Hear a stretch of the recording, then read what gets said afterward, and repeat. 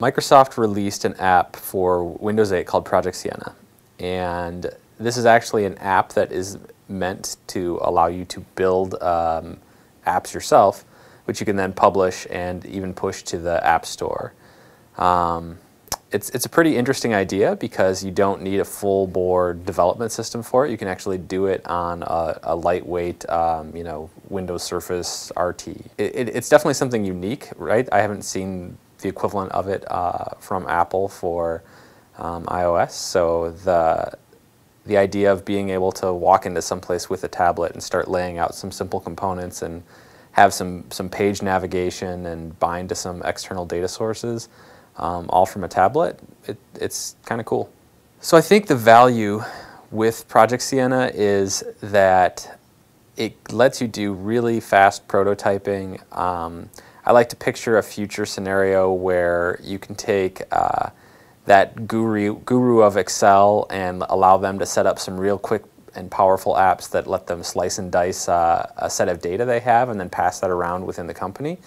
Um, but some of the pitfalls I see to date are that it's really good at, at doing the, the hello worlds or the quick, I'm going to bring in a list of RSS feeds and uh, allow you to click on it to go to the details and see the author and title and the, um, the short description.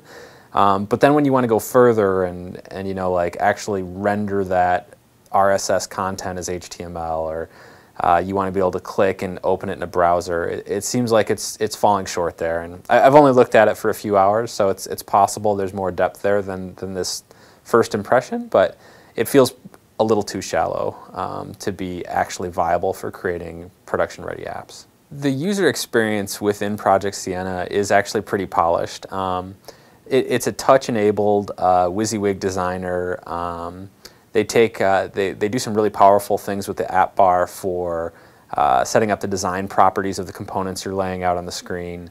Um, they've they actually they've got things like item templating. That's that's you know a more advanced developer uh, concept where you you have a list and you want to go kind of drill in and, and, for each list item I want a picture and a radio button and a piece of text and you can add all those components and then bind it to a list data source and and uh, it'll kind of replicate that out for each list item. So there's a lot of very powerful uh, UI features that um, are probably one of the stronger points of Project Siena as a developer, I don't know if I would use Project Siena over Visual Studio um, for anything at this point.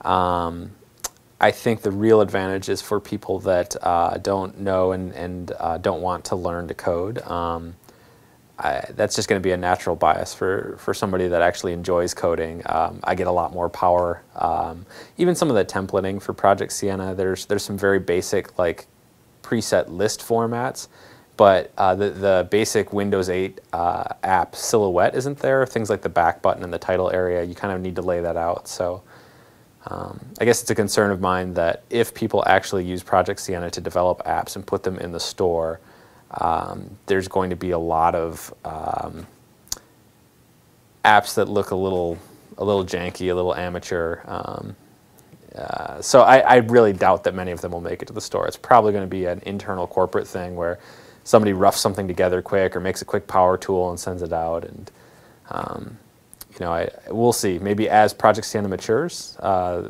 it'll actually start producing um, higher end apps that, that could survive in the store. Project Siena is free and it is out now. Um, yeah, it just recently got released and uh, you can just grab it and install it off the Windows Store.